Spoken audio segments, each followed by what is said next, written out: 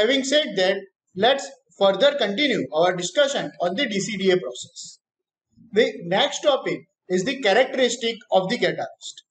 So we are using vanadium pentoxide as a catalyst in order to produce sulfuric acid by mean of DCDA process.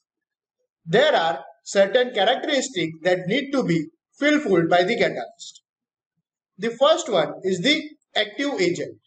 So vanadium pentoxide is but obvious our active agent to carry out this exothermic reaction of DCDA process. So vanadium pentoxide is the active agent and it produces when vanadium metal is heated with excess of oxygen. So this vanadium pentoxide is being prepared with the oxidation of vanadium metal in presence of excess of oxygen. The second characteristic is the shape of the catalyst. The, they are produced in a hollow cylindrical shape to reduce the pressure drop and increase the surface area. So in order to have a larger surface area, we have selected spherical type of the shape or specifically cylinder type of the shape so that we can have higher surface area. And we can also reduce pressure drop in the reactor or we can or we can say double stage reactor. Then the next characteristic of the catalyst is that the promoter. In general, alkali and metallic compounds added in a small amount to enhance the activity of the catalyst. So these are the substances which are used to enhance the ability of the catalyst is known as the promoters. And generally, these alkali and metallic compounds are used to serve this purpose. Then the next thing is the carrier. So basically carrier having a large surface area and resistance to process gas at the high temperature are used. So there are different type of the carrier that are used for the vanadium pentoxide. In a fixed bed, it is used as the pellet from and fluidized bed, it is used as the powder form. So when we are using fixed bed, we are using pellets. And in the case of fluidized bed, we are using powder form of this catalyst. Generally, this carrier are your alumina, silica gel and zeolites. So this was all about the characteristic of the vanadium pentoxide. Now let's just quickly see the comparison between the catalyst that is your platinum and vanadium pentoxide. You can see here on the screen that this vanadium pentoxide catalyst give higher conversion efficiency while the platinum catalyst gives lower conversion compared to this vanadium pentoxide. So it is very much beneficial to use this vanadium pentoxide. Then vanadium pentoxide has relatively more life at the higher efficiency. While the platinum catalyst has lower life and its efficiency is also less. Now the next advantage of the vanadium pentoxide is this vanadium pentoxide is, is poison free while this platinum catalyst is being poisoned by, by the arsenic present in the gases. Vanadium pentoxide catalyst can also handle low concentration of the SO2 gas. But with the case of platinum, we require higher concentration or we can say rich SO3 gas is required. And on the another side, this platinum is very expensive while vanadium pentoxide is relatively cheap. So this was the all comparison points for the vanadium pentoxide and platinum. Now let's just discuss what are the advantages and disadvantages of this vanadium pentoxide.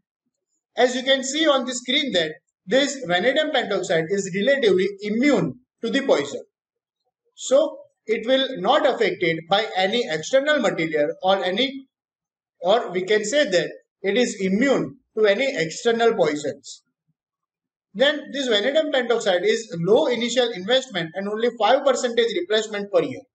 So we have to replace only 5% of the vanadium pentoxide per year.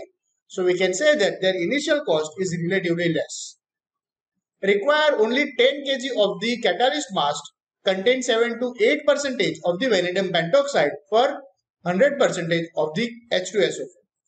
So required quantity of the vanadium pentoxide is relatively very less. We can say only 10 percentage of vanadium pentoxide is required. So this was the advantages of vanadium pentoxide. Now let's just discuss the disadvantage of vanadium pentoxide as you can see on the screen.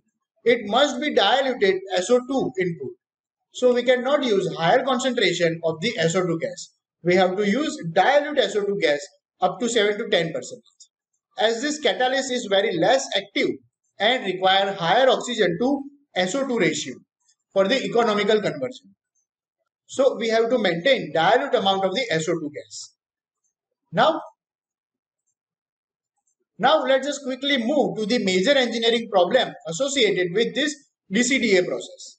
As you can see on the screen that the first major engineering problem is that design of multi-stage catalytic reactor. So it is not that much easy to design two-stage catalytic reactor. You can see that for larger production capacity, some plant may contain more than conventional two stages. But the design of such multi-stage converter with internal cooling is rather very difficult. So not only that we have to design a single reactor inside which we have to integrate two different stages at two different temperatures. So in order to do this we have to provide internal cooling which is again very complicated. So all in all we can say that design of multi-stage catalytic converter or reactor is very difficult. Then the next thing is the space velocity. High gas velocity can be useful but it increases the pumping cost and hence optimum space velocity should be selected to balance the pumping cost and fixed charges. So with the high velocity we can obviously achieve higher conversion. But to achieve this high velocity of SO2 gas we have to supply external energy to pump this gas which ultimately increases its capital cost. So in order to balance all the capital cost and operating cost, we have to choose optimum space velocity, which again very difficult job. Then the next engineering problem is the corrosion. As we all know that SO3 gas is highly corrosive gas, is highly corrosive gas. So this SO3 and H2O are being very corrosive. Hence, it is essentially to select proper material of the construction, which is again cost implementing. Generally, cast iron or brick lined walls are being used for converting this reactor. Then last is the removal of heat. Generally nowadays to remove our heat, cast iron pipes with internal fins are being used to increase their heat transfer. So this was the all of the major engineering problem associated with the DCDA process. And it conclude the product of sulfuric acid.